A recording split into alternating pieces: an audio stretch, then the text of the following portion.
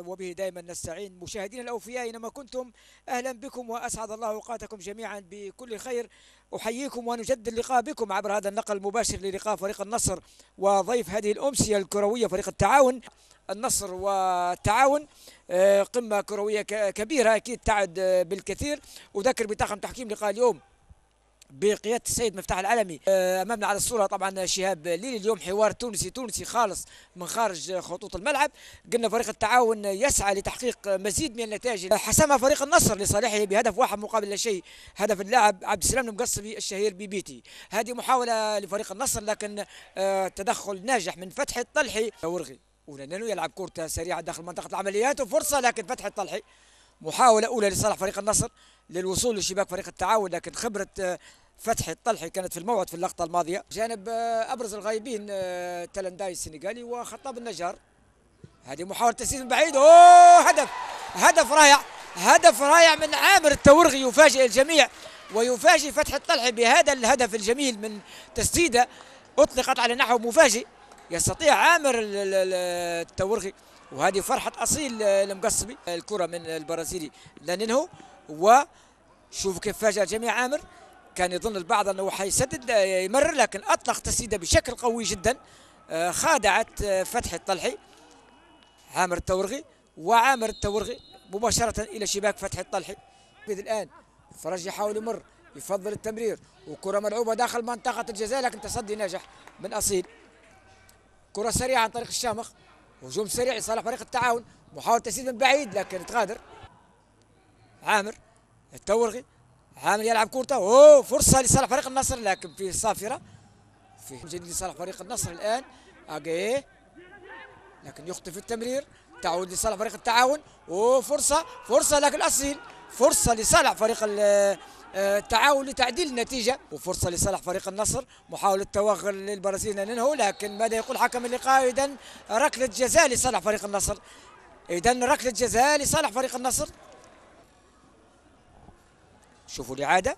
توغل آه، آه، لنانينو و دائما الإعادة فيها إفادة لنا ولكل السادة المشاهدين.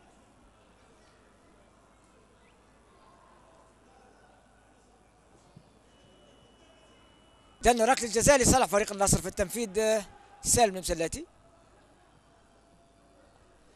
سالم المسلاتي وفتحي الطلحي والحوار بينهما وهدف لصالح فريق النصر هدف لصالح فريق النصر عن طريق آه، قائد الفريق سالم المسلاتي يمر يمر بشكل ممتاز بشكل رائع. نانينهو نانينهو لكن الكرة تغادر أخيرا إلى الركنية.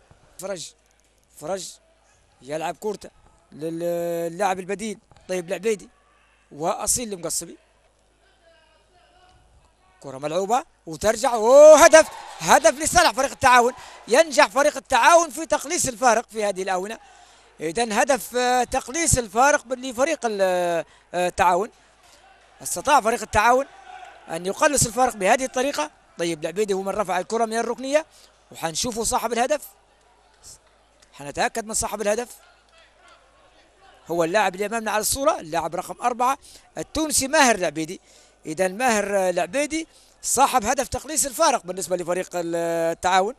هدف سيشعل المنافسة كرة مرفوعة من الركنية من البديل. طيب العبيدي والرأسية تأتي من اللاعب التونسي ماهر العبيدي لكن تدخل من جديد ترجع الكرة لنفس اللاعب طيب العبيدي يحاول يتوغل في المرة الأولى بشكل ممتاز ويلعب كورته وترجع من جديد لو ترجع لكن الحكم اللقاء يعطي الأسبقية.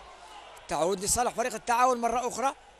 حاول فريق التعاون يضغط في هذه الدقائق من أجل العودة إلى أجواء المباراة وتعديل النتيجة والتعاون. وهذه المحاولة الأخيرة لصالح فريق التعاون. وحنشوف في الإعادة دائما إفادة لنا ولكل السادة المشاهدين. وشفنا ردة فعل حكم اللقاء في قوة في هذه الدقائق الأخيرة. تمريرة داخل منطقة العمليات ومحاولة تسديد ومرور فعلا لكن آه، تبقى الكرة في اللعب لصالح فريق التعاون لكن التغطية حاضرة من خضار فريق النصر. تعود الكرة في اللعب حكم اللقاء يعطي الأسبقية لصالح فريق التعاون.